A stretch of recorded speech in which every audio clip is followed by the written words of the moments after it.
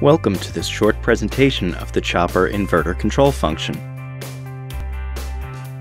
The Chopper Inverter Control Unit, Model 9069-20, is a function including two specific parts, software and firmware.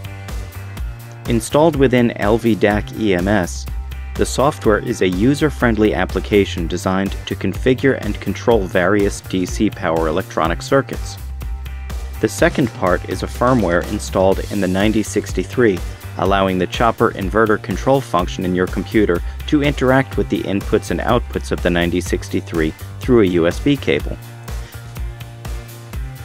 Acting together, these two parts can control and operate an IGBT chopper inverter module to realize a large quantity of DC power electronic circuits in no time. In fact, the Chopper Inverter Control Unit has been designed to show you important circuits that are actually used every day on the market and in industry relative to the DC-DC and DC-AC conversion. Today's students need an in-depth knowledge of DC power electronic circuits in order to understand more complex electronic systems, such as electric cars or wind power electricity generation, that they'll be working with once done with school.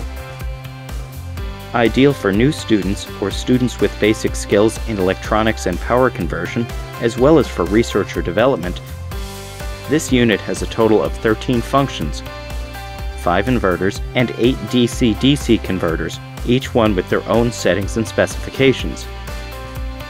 Buck and Boost Chopper, Buck Boost Chopper, 4 Quadrant Chopper,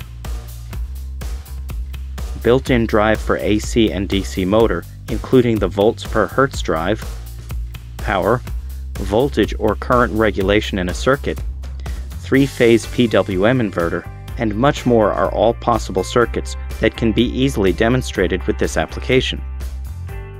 Because every function from this application needs between 1 and 6 transistors, LabVolt uses an IGBT chopper inverter module especially designed for the chopper inverter control application. Six built-in insulated gate bipolar transistors with diodes allow the user to connect various types of choppers and inverters as seen in the chopper inverter control unit. Equipped with overheat, overvoltage, and overcurrent resettable protection, this module is well adapted to training purposes or development, allowing unsuspected errors to have no effect on test equipment without changing a fuse. The switching control input panel can be used to have external control of the IGBT's gate using a 0 to 5 volt signal, but when connected to the 9063 with the DB9 cable, the IGBT's gate becomes fully controllable from your computer using the Chopper inverter control application. You can then connect the power electronic circuits you want to test, select it from the list in the application, and start using it right away.